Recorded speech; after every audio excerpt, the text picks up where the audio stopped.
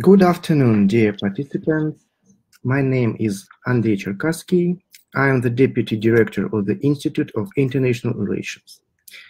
I'm pleased to welcome you to our webinar, Visual Analytics for Monitoring of the Distri Distributed Computing Infrastructures for Large-Scale Scientific Experiment. I'm pleased to pass the floor to our current speaker, an employee of the Laboratory of Computational Experiment and Modeling of the Scientific Research Computing Center of Moscow State University, participant of the ATLAS experiment, Maria Grigorieva. Maria, please take the floor. Mm -hmm. Okay, thank you. Uh, so uh, is everything okay with the sound? You can hear me? Yes, it's okay. Okay, great, thanks. Uh, so Andre, thanks for the introduction. Uh, so um, uh, what uh, a short overview about uh, myself and about uh, my work. so as Andrea have already said, I'm working at the Lomonosov Moscow State University at the moment, and um, our current work uh, is uh, about uh, the monitoring and analysis of the functioning of the computing infrastructure of the LHC. Uh, we have a joint team uh, from Lomonosov University, from MEPhI, and we collaborate with uh, CERN. And we carry out several very interesting projects. and in this lecture, I plan to talk about this uh, projects. Not about all, of course, because uh, I think uh, uh, I can't cover everything uh, in one lecture, but I'll tell about um, two the most um, important directions of our research. so, a short outline. Uh, first, I'm going to describe uh, CERN computing infrastructure. Uh, we will talk about uh, the scale of this infrastructure, about some uh, components, especially about networks. Uh, then, I'll present the system of the visualization of network roads uh, which was implemented by MEPhI team. And this tool was highly appreciated at CERN, and it's been already integrated uh, in CERN computing infrastructure. That's very good result, I think. Uh, so next topic uh, is about the operational intelligence uh, uh, research project at CERN, which is totally devoted to the intelligent methods of data analysis, which is also very interesting. And in terms of uh, this big project, uh, the income of our team is the development of the ClusterLogs framework. Uh, so, and I'll tell a few words about this. Uh, uh, of course, our work and our research is not limited to, uh, to it, but I think that for one lecture, it's more than enough because the material is not easy to comprehend. Um, so, let's start uh, from the beginning. Uh, I don't know, uh, maybe you know about the LHC, about the CERN, and maybe you don't know, but um, uh, I just want to be sure that you know what's this. And um, so that's why I um, uh, made this overview slide about the LHC. So the LHC is the accelerator of particles and it pushes protons or ions uh, to near the speed of light. Uh, and it consists of 27 kilometer ring of superconducting magnets. Uh, you can see it on the picture, this uh, 27 kilometer ring. And it has a number of accelerating structures that boost the energy of the particles along the way of uh, this ring. Uh, so um, uh, what's the goal of the LHC and what was the purpose uh, why it was constructed? Uh, the goal is to fill some gaps uh, in the standard model of particle physics. Uh, so the standard model is a theory which was developed in the 70s and describes the fundamental particles and their interactions. but the standard model is incomplete and it leaves many questions open. Uh, and the LHC was constructed uh, to uh, help to answer these questions. And what's these questions? I outlined uh, some of them. For example, uh, one of the question is, what's the origin of mass? Uh, you know that the standard model doesn't explain the origin of mass, so why some particles are heavy or some particles have no mass at all, for example, uh, photons. And there were a theory about Higgs, uh, about Higgs field. The particles that interact intensely with the Higgs field, uh, they are heavy, and those who are um, that have feeble interactions are light. And in uh, 2020, CERN announced the discovery of Higgs boson, which confirmed that uh, this uh, theory is, uh, um, um, but uh, this theory is still under investigation, and there are a lot of questions uh, still. Um, but it was a very good result of working of the LHC. Uh, there are uh, a lot of other questions uh, which are not less important. For example, what's the supersymmetry about uh, dark matter and dark energy? Uh, maybe you know that um, the matter which we know and this matter makes up all stars and galaxies and it's it accounts only 4% of the content of the universe and other um, all the rest uh, is dark matter and uh, dark energy. It accounts 23 and 73 percent. Uh, so LHC helps to investigate uh, this phenomena. Uh, also, uh, there are some investigations about antimatter and about quark gluon plasma. So I listed just um, a list of the most uh, the biggest uh, investigations which uh, provided at CERN. Uh, and what should be noted here, uh, the biggest experiments uh, at CERN are ATLAS and CMS, and it's the general purpose detectors, and they investigate a large range of physics phenomena.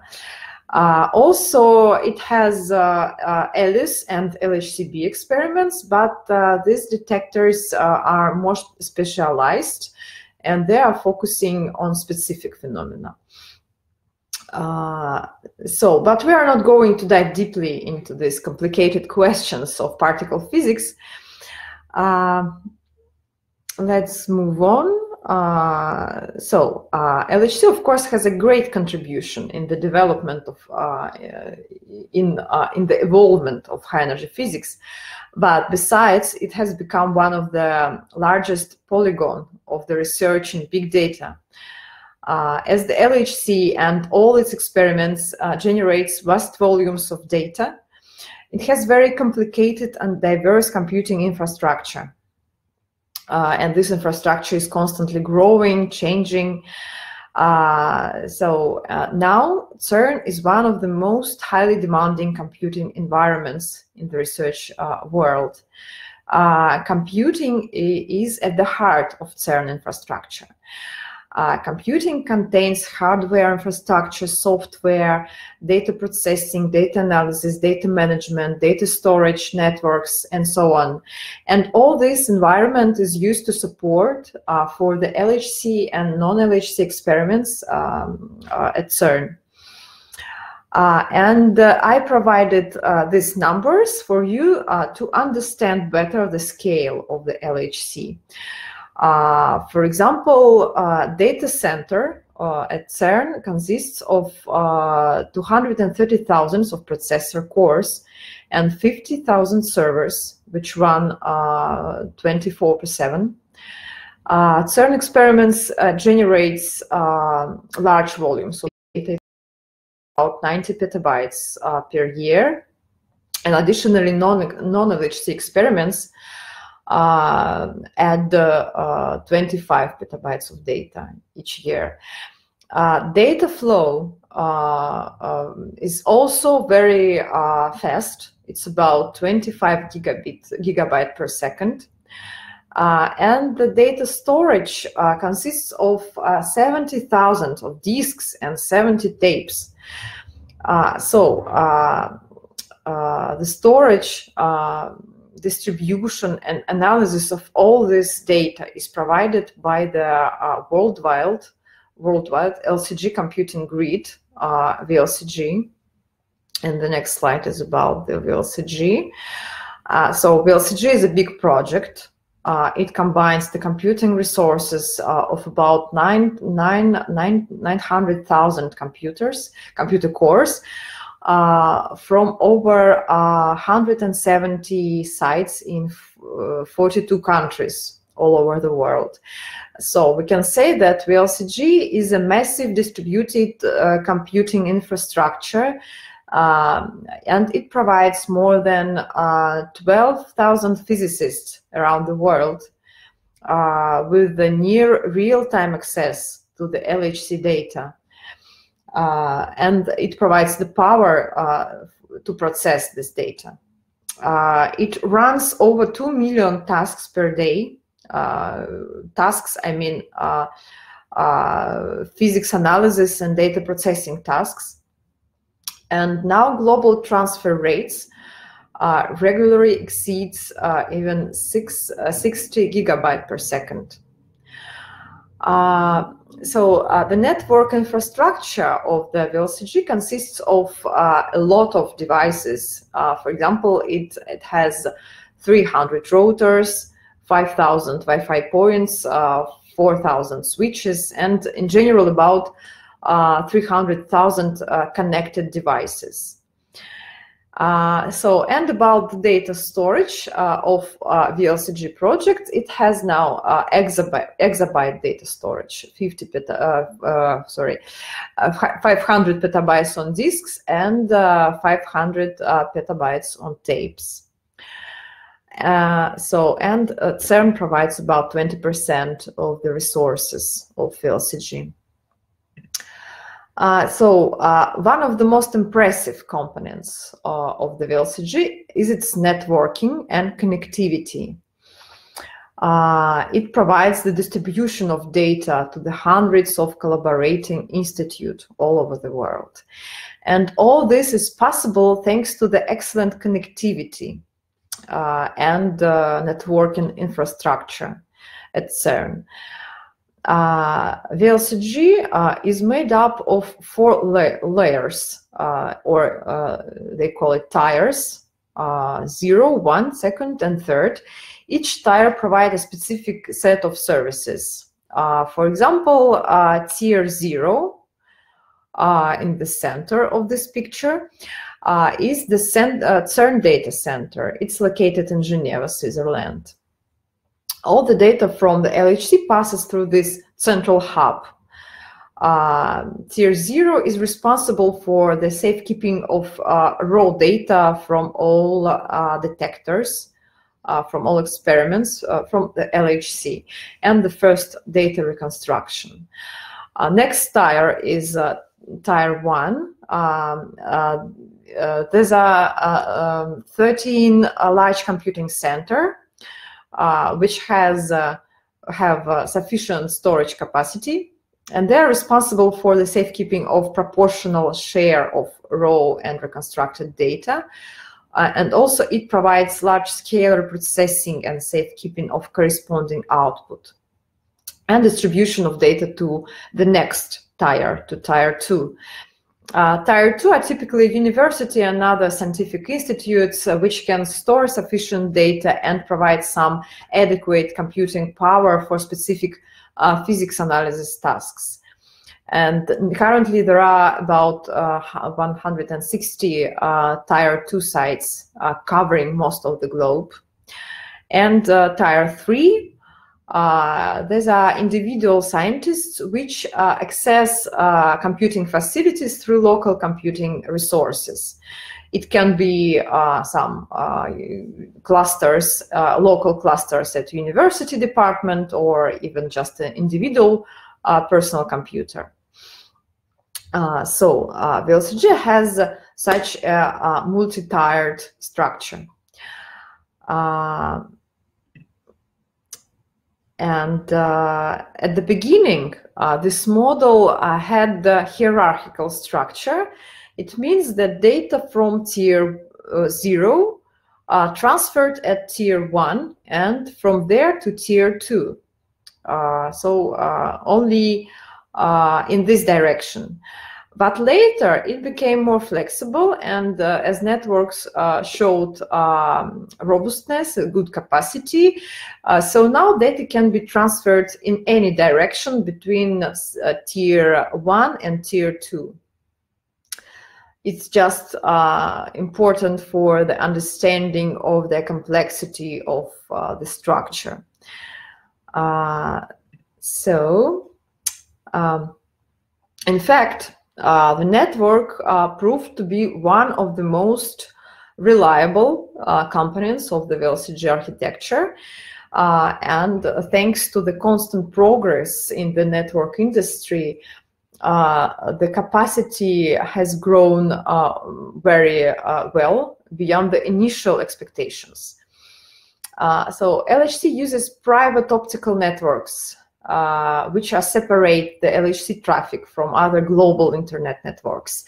Uh, CERN currently has two main private networks. Uh, these are LHC OPN and LHCONE. Uh, LHC uh, OPN optical private network was de deployed to enable distribution uh, of data from tier 0 to tier 1 sites and also to support data movement between uh, tier one sites. And LHCONE supports uh, uh, the data movement between uh, tier one and tier two sites. Uh, so I see that uh, the internet connection is unstable. So I'm sorry, I'll turn off my video. Um, maybe the connection will be better. I'll turn turn off uh, turn on video later. So okay.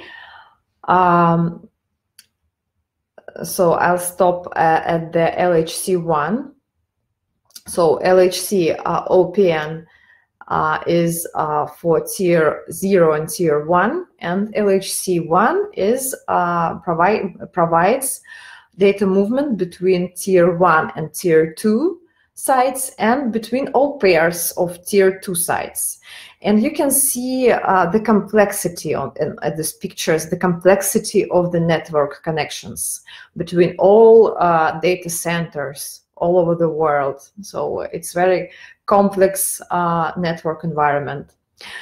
Uh, it should be noted that connections, network connections between uh, tier 1 uh, and tier 0 are built on a very well provisioned uh, private optical network because these networks are responsible for the transfer of the initial of the raw data from the LHC. It's very important for these channels to be very reliable. Uh, so these connections are enough stable. Uh, but the mesh of network connections between uh, tier 1 and tier 2 sites and between pairs of tier 2 might have frequent problems uh, with connectivity and data transfer performance. Uh, and, uh, and it can cause some problems. Uh, for example, uh, the connectivity between two sites can be very low. Uh, and to fix this issue, uh, sometimes uh, can can spend several days. To ensure sites and experiments can better understand and fix networking issues, uh, CERN started to use uh, specific um, software, PerfSonar, uh, it's a web-based, uh, web service-based infrastructure uh, allows to collect and publish network performance monitoring uh, metrics. Uh, so the next slide is about this uh, tool.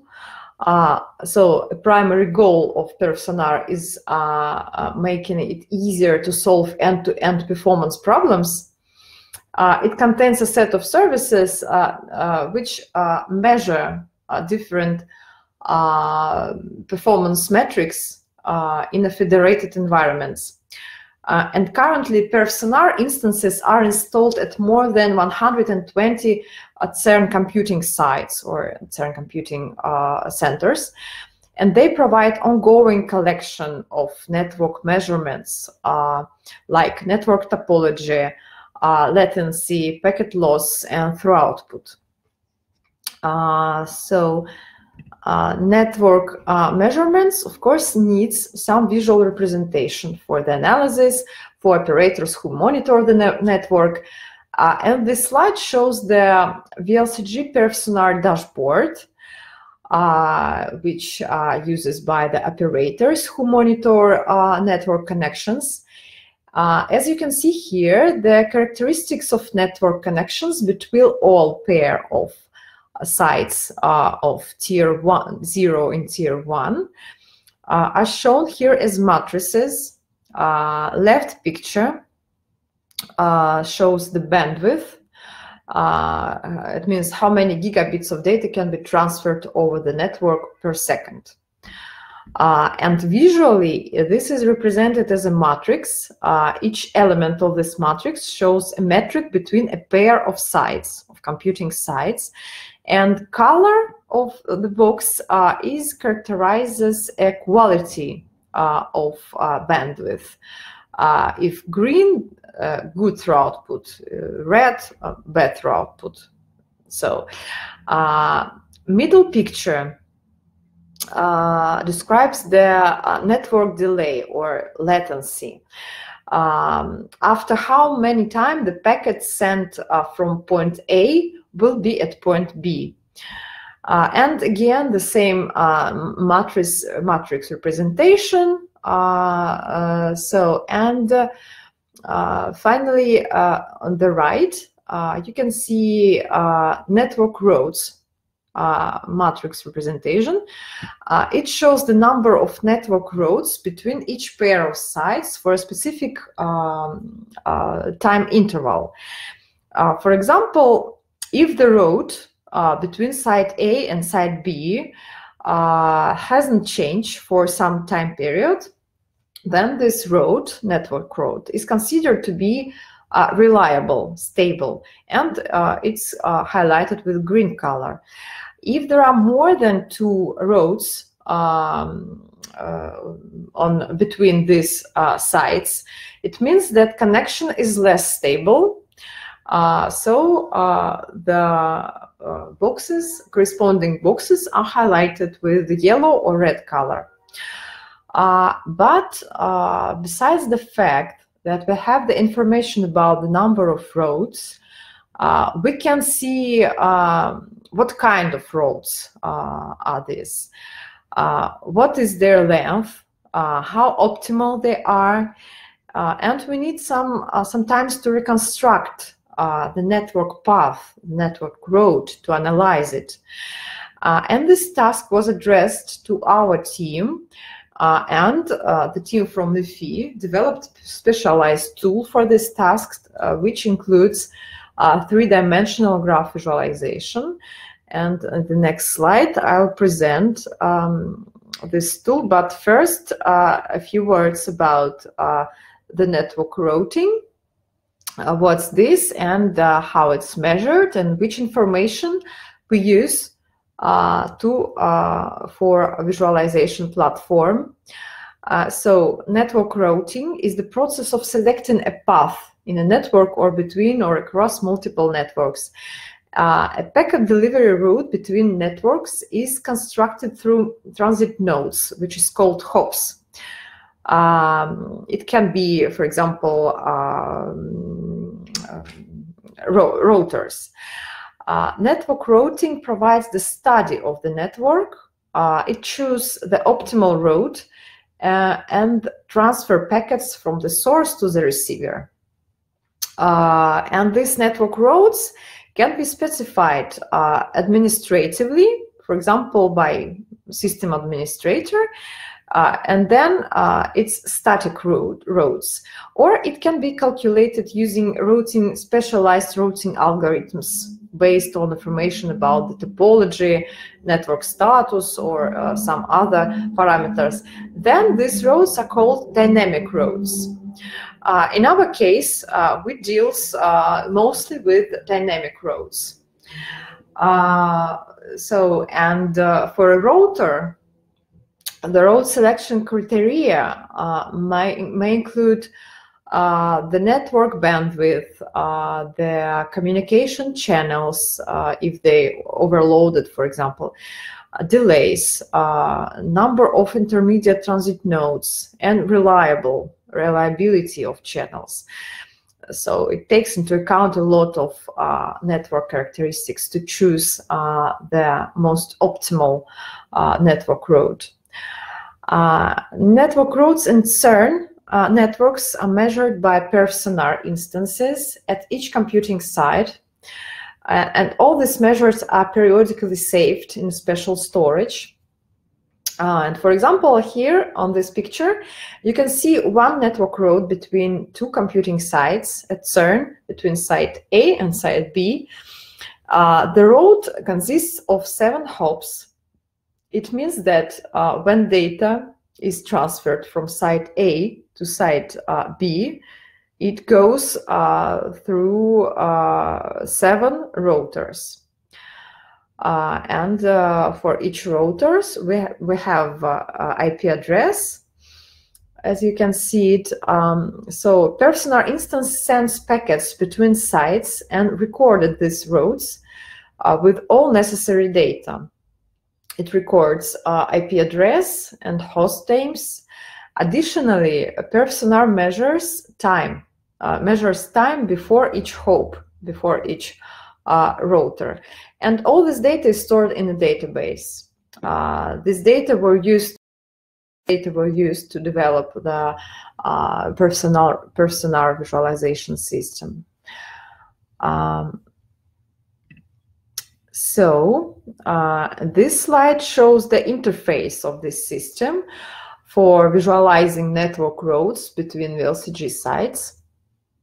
Uh, so in the left pane, uh, you can select some time interval.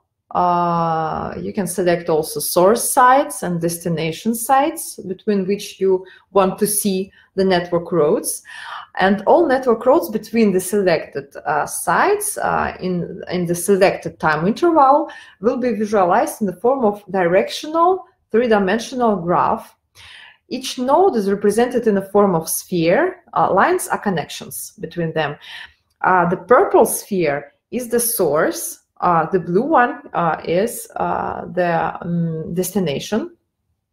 And the red one uh, is the sphere um, with no source in the database. For example, um, some values, uh, some parameters may be missed in the database, uh, like IP address or time delay. And it means that a uh, PerfSonar uh, couldn't measure uh, these values, and it indicates that there are some problem uh, with the perfSONAR measurement uh, and uh, problem in network road. so below the main picture, you can see the summary table of all roads uh, and you can select any row in this table and the network road uh, that corresponds to this um, uh, path will be highlight highlighted on the graph using animated small spheres uh, passing between all intermediate nodes, hops. Uh, the speed of movement of, of uh, small spheres shows the speed of data exchange between nodes. And on the graph, uh, on the right, on the histogram, uh, you can see uh, the time delays to each um, internal um, hop. so, um, this is our visualization. Uh, the next slide shows that you can select another row in the table, uh, which is below. Uh, and you can see that uh, in this case, a different road uh, is highlighted on the graph.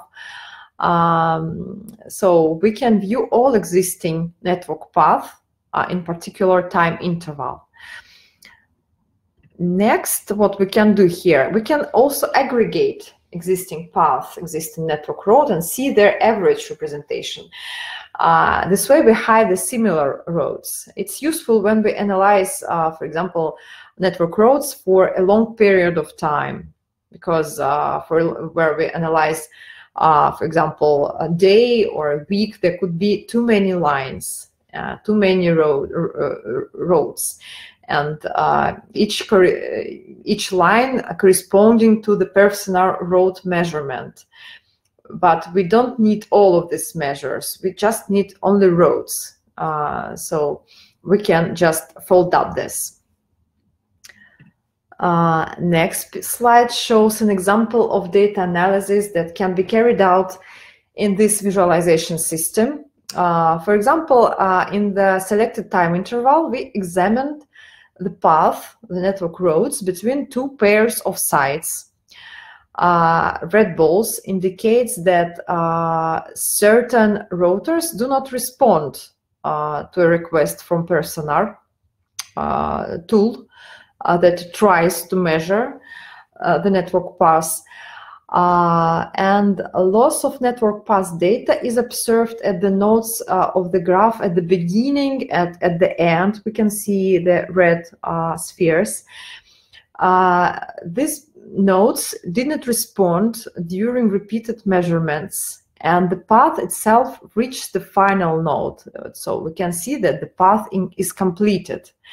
Uh, so uh, we can assume that these loss, losses, these data losses occur due to the security settings of the respecting routers. Uh, this is just an example of the possible analysis. Uh, the next slide uh, shows uh, a case, case with the self-cycling routers you can see that a router uh, repeatedly transmit data to itself. It, it's self-looped. Uh, and as a result, all packets uh, are lost and that data transfer from site A to site B is interrupted and the, all the road is red. Uh, so the road is not completed in this case. And here we can clearly say which rotors are, are self-looped. Uh, you can see it at the beginning of the road and at the end. Uh, and we can initiate a change uh, in their configuration settings. So it's one of the most representative example of, um, of the, the possible data analysis uh, using this tool. Uh, so as I've already said, currently it's uh, already implemented and it's uh, within the CERN infrastructure. Uh, uh, so, and it's the income of team from MEPhI. Um, so, and this what was the first part of my talk um, it was devoted to the networks and uh, the second part will be devoted to the operational intelligence uh, project. Uh, so, uh, operational intelligence project uh, is completely another direction of uh, the research. Uh, it's a joint effort uh, of high energy physics uh, collaboration, collaboration, and its main goal is to reduce the operational costs of complex computing infrastructure by increasing the level of automation in operations. Uh, and this will be achieved through the development of stack of intelligent tools and technologies uh, which aims uh, to detect, analyze, and predict some anomalies in the computing environment uh, to suggest uh, possible actions and uh, automate operation procedures.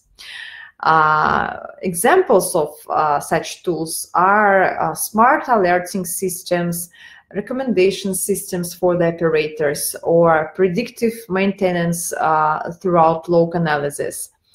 And the landscape of applicable technologies and methods um, uh, includes, but not limited uh, to, uh, data mining, machine learning, uh, predictive analytics, interactive data visualization, visual analysis, natural language processing, deep learning, uh, neural networks, uh, and so on.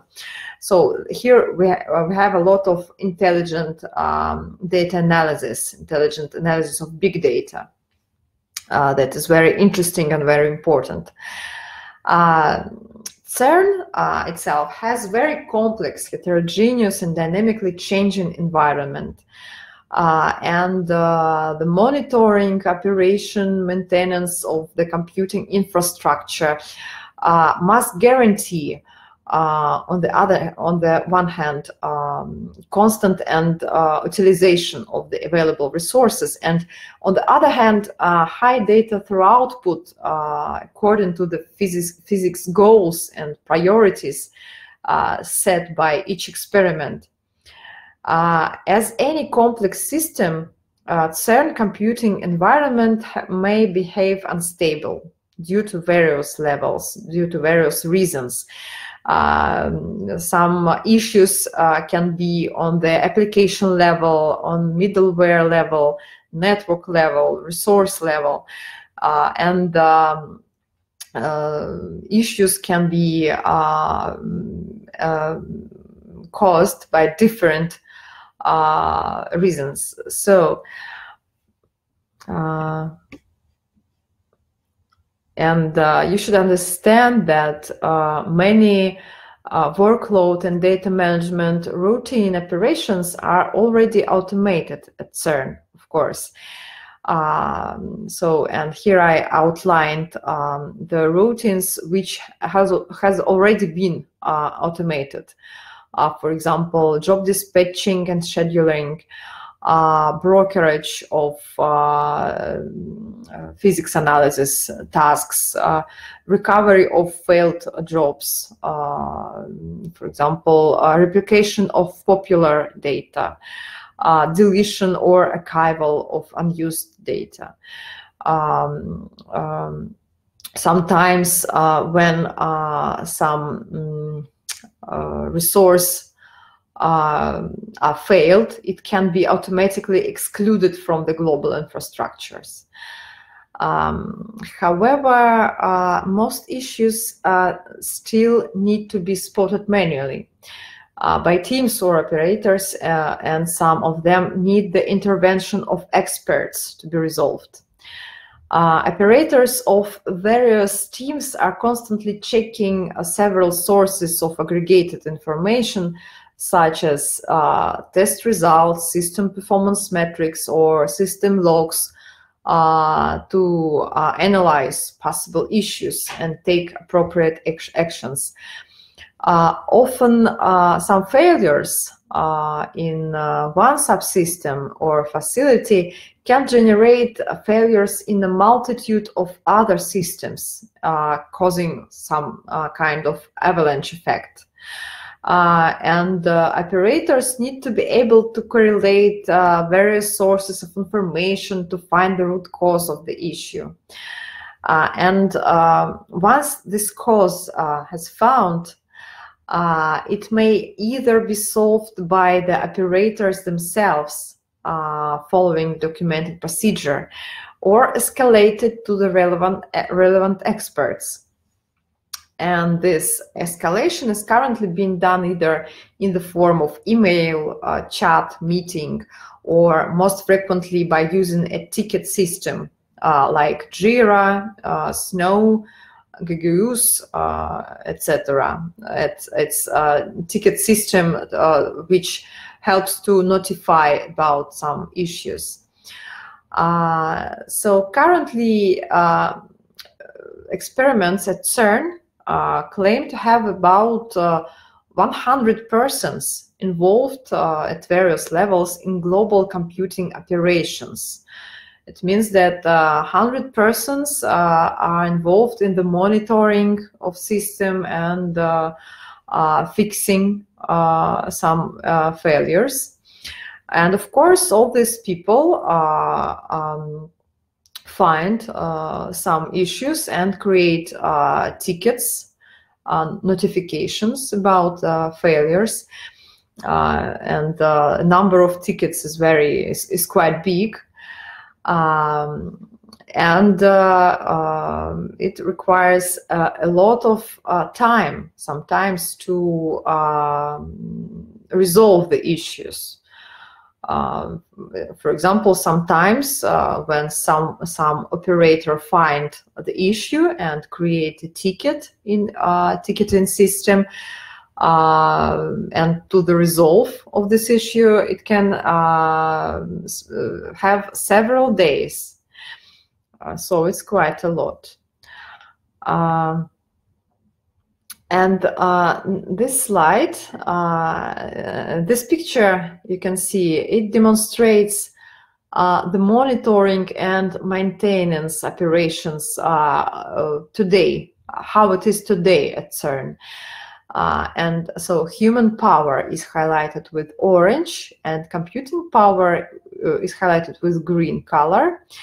Uh, so you can see at the top of this picture a number of people. Uh, they are operators or, or, analytics which are monitor uh, distributed computing environment. Um, uh, yes, uh, by the way, I see the chat. If you have questions, you can ask here and maybe I try to answer them now or later. Please feel free to ask. Um, so um, uh, so these experts, these operators, analyze all alerts or signals from various devices. Uh, and they uh, have to uh, explore, to observe some specific plots, tables, and monitoring systems. And uh, looking at this um, uh, different visualization, etc., they try to localize the issue and uh, the failed components maybe in the of the infrastructure. And after that, uh, they create issue tickets, notifications. Uh, uh, it's like a notification with the description of the issue. And this tickets is sent via email, chat, Jira, and other issue systems. Uh, and then responsible executors perform some actions and uh, to correct the situation, to fix the problem. Uh, and to maintain CERN computing infrastructure, we need a lot of operators, which write a lot of uh, issue tickets daily. Uh, so uh, what we want to do next? what will happen tomorrow? Uh, as all the issue tickets is saved in the database uh, and all the descriptions and all proposed actions of system administrators, so the next stage uh, is to analyze all information about these alerts, about problems, about issues, and about methods for solving them. Uh, we can use all accumulated data from all issues to train machine learning algorithms how to respond to a particular alert. Uh, as a result, it will allow to automate some user actions, some uh, actions of the operators. Um, and then uh, um, operations after tomorrow uh, and ideally, we will uh, significantly, significantly sorry, reduce the amount of human resources, um, of required human resources, uh, by shifting most of the routine work uh, of processing alerts to a computer. Uh, and that's the main goal of the operational intelligence project. Um, uh, we want to automate as much as possible but it's not limited to it. Uh, this project have a lot of analytics initiatives in various fields. Uh, one of the most important uh, is the analysis of log messages. Because uh, you know that uh, analysis of uh, failure logs, of error messages, is one of the central component of uh, all analytics uh, system of monitoring systems. Uh, issue understanding and mitigating can be improved by preprocessing, combining, and correlating data from different sources. And here you can see examples of textual error messages, uh, which allow to detect, often allow to detect the reason of the issue. And now uh, operators at CERN analyze this, uh, all these error messages, uh, in fact, manually by hand. Uh, but the complexity of computing system is constantly rising uh, and it provokes growing of the number of these error messages. Uh, and more and more human resources are needed to read and explore all these messages. but this process can be automated and our team is involved in this process. And on the next slide, I'll, slides, I'll, I'm going to show how we do it. Um, uh, so, uh, but first, if we talk about the number of failures, here is a great uh, representative example. Uh, it's a plot with a distribution of job statuses uh, for each hour during one day.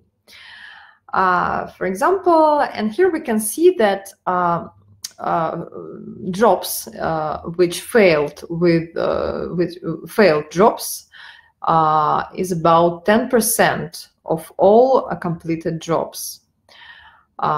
When I say job, I mean that it's some um, physics analysis or data processing job uh, carry, carried out uh, in the distributed environment at CERN.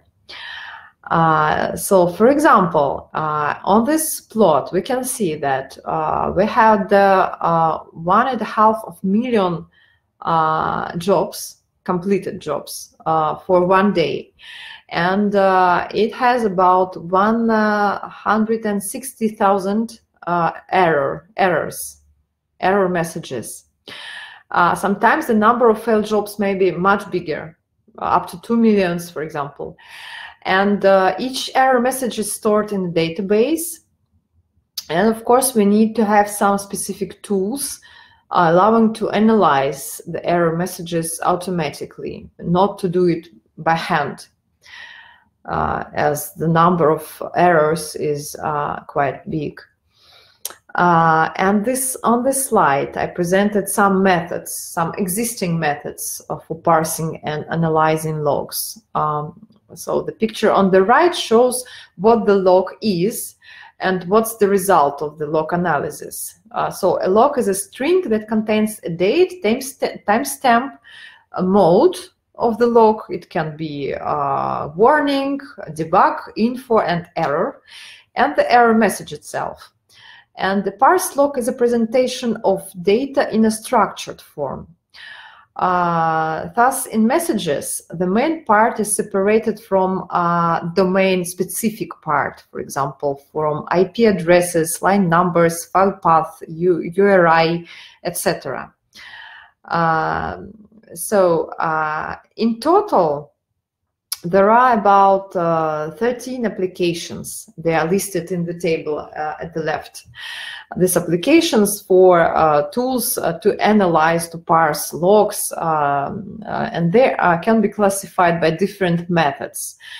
some of them use frequency pattern extraction, some of them use machine learning, and some of them use heuristic methods. and also some of them are fast, some of them slower, and uh, only five of them are open source. Uh, so uh, I won't stop in detail uh, on these methods because uh, um, it's not applicable uh, to the analysis of error messages for CERN computing. Um, we can't use these methods directly uh, since they are essentially aimed at looking for similar text patterns, only similar text patterns uh, in error messages. But our task is to perform such an analysis that will allow us to group error messages not only by text patterns, but by semantic content, by the initial reason of error. Uh, what I mean, uh, for example, um, all messages, uh, we, we need to group all messages that indicate uh, for example, uh, server doesn't have enough memory in one group. Messages that has uh, some authentication uh, error uh, in another group. Uh, if you can, as you can see on this slide, for example, no such file or directory messages in next group. copy failed, another group. But uh, in spite all these messages in these groups has the similar uh, problem, uh, the similar issue, uh, you can see that text patterns may be completely different. Uh, so, and our goal is to um, group, categorize messages automatically by the reasons, by the reasons. Uh, so, um, on this slide, uh, um, there is a general stages of uh, our clusterization algorithm.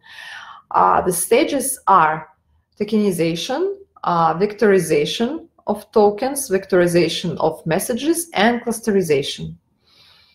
Uh, so uh, a few words about each stage because I think it's very important uh, and you can maybe use uh, some of these uh, methods in your research, for example. Uh, so tokenization is the process of dividing the text into sequence of smaller parts, words, tokens, symbols, digits, uh, etc. And it's uh, these parts are called tokens. Uh, so the list of tokens and then used as the input for the next text processing stage, vectorization. Uh, and uh, it uh, so when we tokenized each message, each error message, we can build a vocabulary which include all tokens from all error messages. Uh, so the next stage is to represent each token by a set of numerical parameters.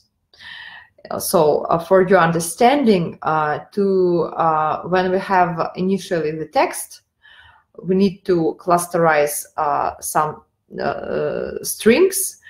The first thing we should do is to convert these strings to numbers because we can clusterize strings, we can cluster, but we can clusterize numbers. So the main question is how to convert the strings to the numbers. Uh, so and uh, after tokenization, we uh, vectorize each token. Uh, we built uh, a vector space model of tokens uh, using word2vec algorithm implemented by Google in 2013 and I'll explain this method uh, uh, at the next slide. but uh, after we tokenize, uh, sorry, vectorize tokens, we have to vectorize uh, sentences, messages. Uh, uh, and this the third stage. Um, uh, messages vectorization is a mathematical average of the vector representation of all tokens in the initial message. Uh, and then a vector model of messages is used by a clusterization algorithm to split all messages into similar groups. Uh, so that's a simple description of uh, the clusterization pipeline, but of course it has much more interim stages. I just won't tell about them uh, as they are very specific uh, and uh, we don't have enough time to cover it all. I'll tell only about some important stages which I hope you can then explore more detailed and use in your investigations. Uh, so at the next slide, uh, I, I, wanted to show how we build the vector space model of tokens. Uh, for this, we use word embeddings method. Uh, the main idea of this method is that the meaning of each word uh, can be inferred by its neighbors, by its context. Uh, word embedding is a set of techniques in natural language processing uh, where tokens from vocabulary are mapped into numerical vector. Uh, so uh, this mapping is implemented using neural networks algorithms. Uh, uh, so, and the result, each term uh, is represented within the context uh, in which words, in which token tokens it appears. At pictures below, there are uh, examples of numerical vector representations uh, of token.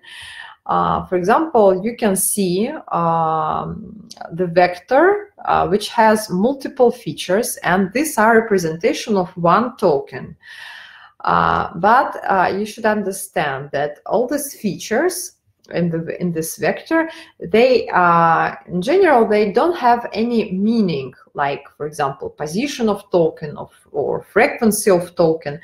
This feature this features just represents the model of a context uh, for this token. And if we try to highlight it each feature uh, value by some color from uh, red to green we will see that this vector are coded as a context of tokens. And using this representation, we can search similar tokens, and the similarity is defined by similar context vectors. Uh, as an example, I provided most similar tokens uh, for words source and word destination, uh, which, uh, and these two words uh, are mentioned uh, together in a lot of error messages. And we can see that really uh, word2vec model thinks the same. Uh, the most similar word for the source is destination uh, and vice versa. Uh, so a word2vec model is very useful and it allows to decode a, each token by numbers describing their context. And it means that the word2vec model represents the meaning of tokens. Uh, so and we used it uh, uh, in our uh, clusterization method. and another point which I wanted to highlight here is the clusterization method um, algorithm. Uh, you know that there are a lot of different uh, algorithms uh, for clusterization which allow to split data into groups uh, sharing similar, similar parameters. Uh, but uh, most algorithms require to install some initial knowledge about data. For example, they require the knowledge of the number of clusters. Uh, how many groups or clusters do you think uh, your data may have? But in our case, when we analyze error messages, uh, which may be absolutely different, uh, which may have absolutely different uh, various um, textual pattern, uh, we don't know in advance the number of clusters, number of groups. it can't be predicted anyway. so the DBSCAN is one of the algorithms which don't need uh, the number of cluster and we can use it. Uh, the density-based clustering algorithm uh, uh makes an assumption that clusters are dense regions in space uh, separated by regions of lower density. Uh, so um, since these algorithms expand clusters based on dense connectivity, they can find clusters of any shape uh, and doesn't require uh, to specify the exact amount of cluster. Instead, uh, it requires uh, two parameters, uh, this algorithm, uh, the epsilon and the min samples. Uh, the epsilon parameter is the maximum distance between two points uh, to be considered as a neighbors, uh, to be considered as belonging to one cluster. So it can be said that uh, epsilon epsilon is intra-cluster distance between points. And min samples is the number of samples in a neighborhood for a point to be considered as a core point. Uh, and so um, the epsilon parameter is the most important for clusterization and it, it can be calculated based on data. And, uh, we, in, and we do it based on data. And um, we have uh, some additionally uh, stages uh, in the clusterization pipeline to uh, detect this epsilon parameter for the DBSCAN. Uh, so, and as a result, finally, uh, we uh, apply the dbSCAN uh, algorithm to uh, represent numerical representation of error messages, and it groups uh, all messages into clusters, and the results are quite accurate. For example, like this. On this slide, I showed some results um, of clusterization of messages. Uh, here is the fragment of table describing detected groups of error messages. Uh, the first column uh, is the size of a group. It means how many error messages are in this group. The second column is the textual pattern of messages in this group. And the third column uh, is automatically extracted key keywords and key phrases in, of all messages in the group. Uh, so now this clusterization pipeline is under development and we are going to integrate it uh, in CERN computing environment very soon. Uh, and uh, our next goal is to learn how to group messages automatically by keywords, key phrases. Uh, like here, for example, to group messages uh, with authorization, authentication errors, or to group messages with login errors separately. Uh, and it should be done automatically without human interven intervention. Uh, so um, I think that uh, I can finish at this. Um, and this slide is about our, our other research. Uh, for example, what we can do else uh, about the monitoring and uh, data analysis uh, for CERN. Um, another directions of our investigation is the parallel coordinates visualization for the analysis of high dimensional data. Uh, it's also uh, done by um, MEPhI team, uh, and we have already good results with it. Uh, also, we are involved in the analysis of slow computing tasks uh, it means that uh, in CERN computing environment, some user analysis tasks can uh, last uh, more than two weeks. And we try to analyze why it happens and what we can do to avoid such uh, time delays. And finally, now we started a research of data popularity for user analysis. Uh, data popularity, it means that um, all data, uh, data sets uh, at CERN uh, may be popular and may be less popular. And the popularity measures uh, are used uh, for data placement, for data distribution, to make replicas of data or to delete this data. Uh, and uh, this uh, popularity measures are very important, has become very important, especially uh, when uh, um, after the LHC upgrade, uh, when the number, the amount of data, the volume of data will grow, grow up significantly. so this our the overview of our investigations. Uh, so I, I'll I, I'll try to turn on my camera. Uh, and uh, finally, uh, I provided some resources. first resource for a Russian speaker. Um, it's uh, the paper of our colleague from CERN. Uh, another paper about the networks and uh, two, uh, finally, uh, three and four, it's about the log clusters. Uh, so below there is my uh, CERN email. Uh, so if you have some questions, you can write and I'll try to answer.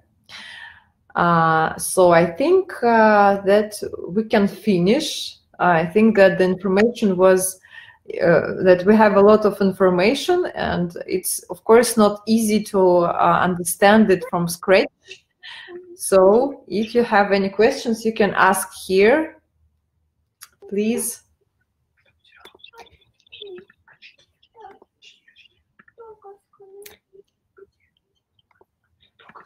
Yes, thank you very much, Maria, for a very interesting webinar. So, are there any questions for our speaker today? Please, you're welcome or in chat, or I can uh, go on the air. Well, I have one question, I think. Uh, can you guide us on the BERT technique? Mm. Hmm. Uh, unfortunately, I don't uh, know what's the BERT technique.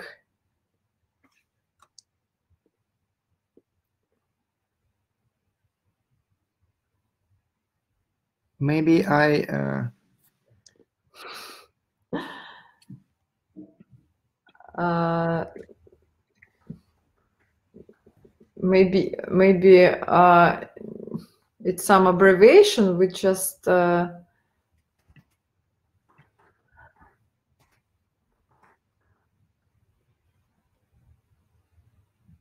Well, I can connect the participant to our conference to say the question, okay?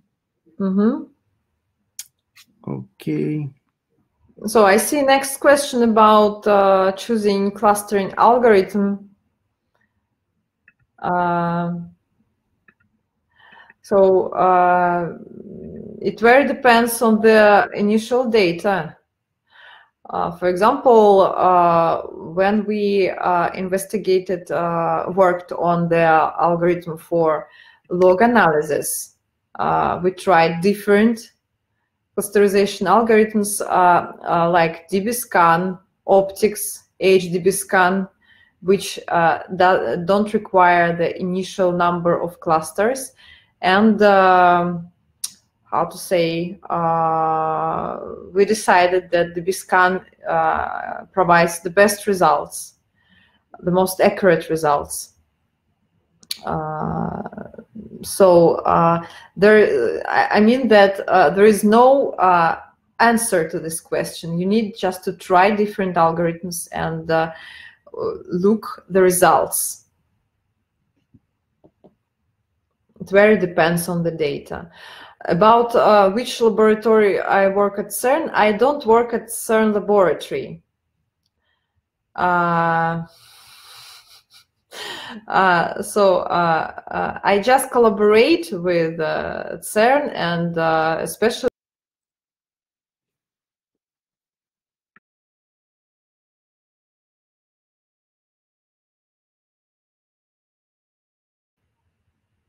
but I work at uh, Moscow State University.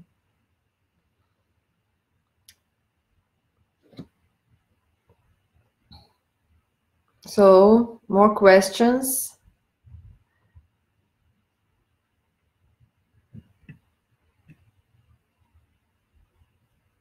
I still uh, wonder what's this uh, BERT uh, technology because it's very something very familiar, but uh,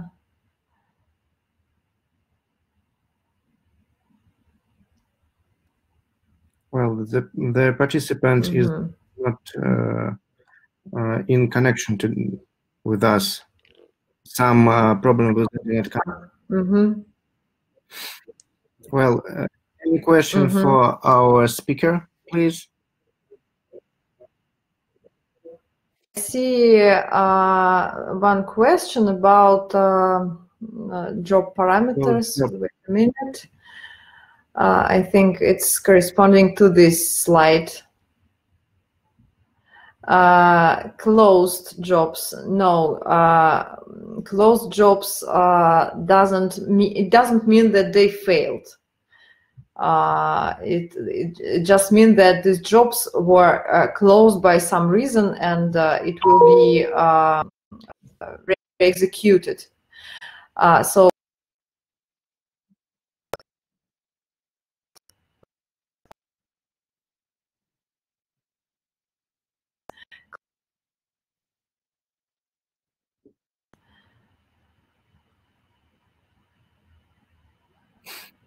We have a question about the BERT technology. Mm-hmm. Mm-hmm. You know, I didn't use this. Um, maybe I should uh, uh, investigate it separately, but uh, currently we use only avoid embeddings and it uh, provides uh, quite good results.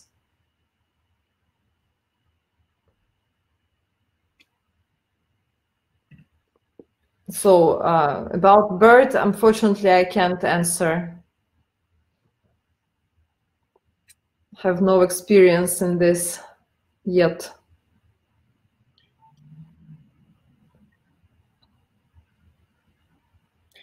Well, I think if mm -hmm. we mm-hmm. have any question, uh, our participants can uh, send it to your email address and uh, connect yes. with you by the email. And so again, the uh, last yes, with yeah. my mail. Mm -hmm. Well, uh, thanks again, Maria, for participating for uh, this uh, interesting lecture to uh, audio to our audience. Uh, thank you, and we will. Um, I think we will meet one more.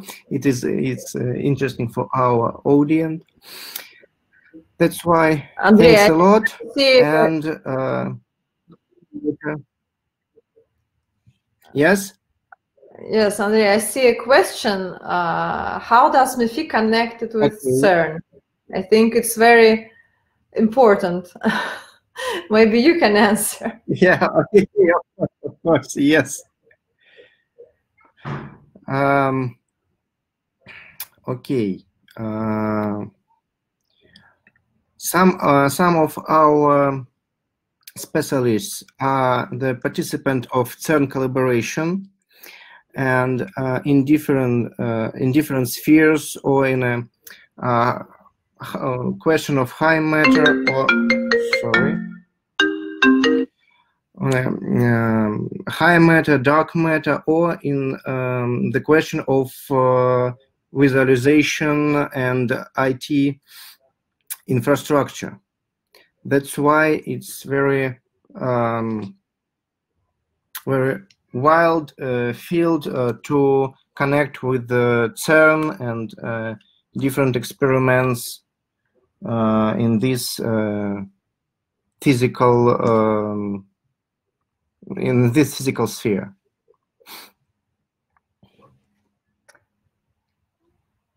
Uh, yes, I can add that uh, I know that MEPhI has a very wide collaboration with uh, CERN in terms of physics in terms of high energy physics. And uh, uh, CERN has uh, a lot of physics from uh, are working at CERN. And now we started the collaboration in, in terms of computing.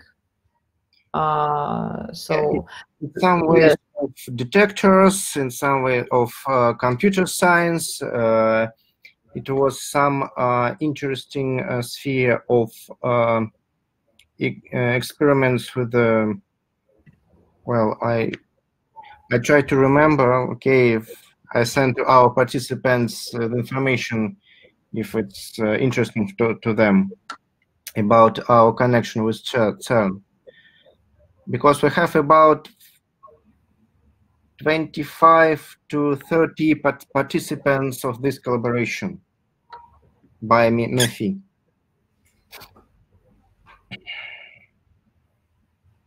Yeah. Maria? Some... Yes, yes. Uh, I agree.